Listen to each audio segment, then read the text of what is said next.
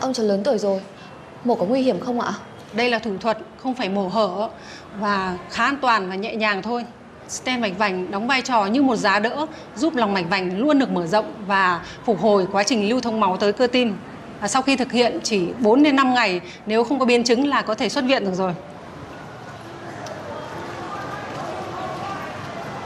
Sơn ca Ông Ừ Cháu vừa gặp bác sĩ à Sao rồi Trường hợp ông của cháu sẽ phải đặt khoảng 4 stent, chi phí loanh quanh khoảng 200 triệu. Nhưng như thế không có nghĩa là đã hoàn toàn khỏi bệnh. Nguy cơ tái phát bệnh là không nhỏ. Ông sợ ấy là ông cháu không đồng ý đâu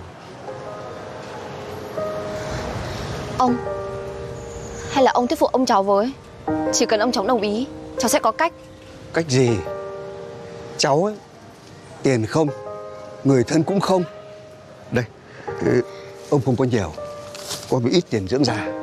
Cháu cầm lấy rồi thêm vào lo cho ông ấy. Cháu không nhận đâu. Cháu biết ơn ông bao năm qua đã luôn là người bầu bạn với ông cháu. Ông giúp đỡ nhà cháu nhiều lắm rồi Cháu không nhận được đâu. Cầm đi. Ông già rồi Lại có lương hưu Lại còn có con Có cháu.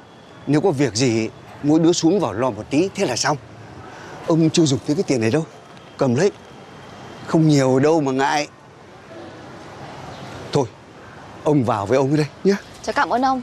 Để cháu đưa ông vào. Ừ, Không cần đâu. Cứ lo việc đi. Ông với ông cháu hàn huyên còn lâu Đừng lo. Ừ Ông để mắt với ông cho nhé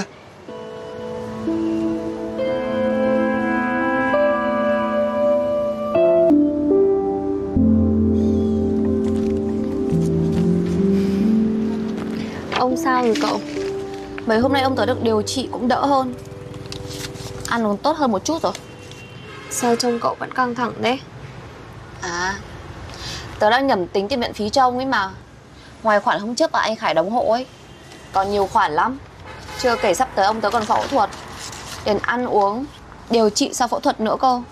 Nhiều lắm. Nhiều khoản thế này Cậu có lo được không? Lấy gì mà lo?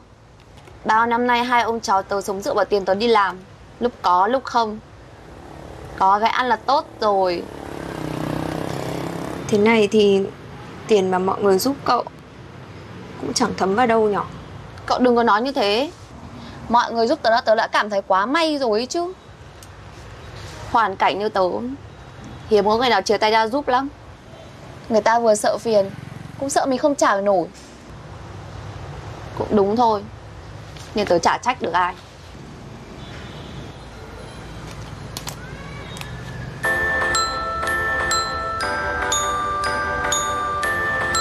Đợi tớ tí nhá. Em đây anh Giai. Em không làm ở đấy nữa. Em chuyển ra khác rồi. Đổ lại xe cho anh nhá. Thôi, em không có đồ.